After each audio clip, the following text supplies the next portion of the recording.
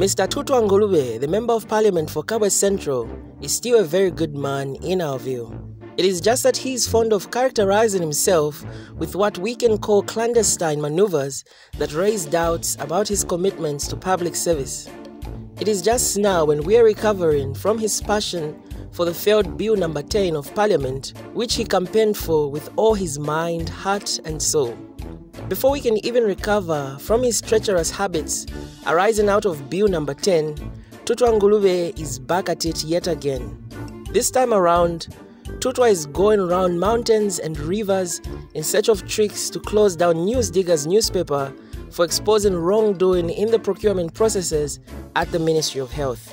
We have noticed with a lot of interest how Honeybee, Tutwa Ngulube's client, have gone flat out to find ways of having a newspaper that is exposing them to close. In all this, we can see the invincible hand of Tutwa Ngulube and his tricks trying to launder the wrongdoing that deprives Zambians of dignity and pride.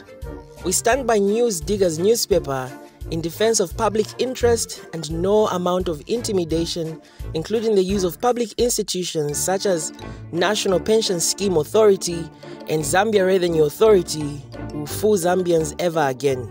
These are old fashioned attempts to curtail freedom of press and freedom of expression.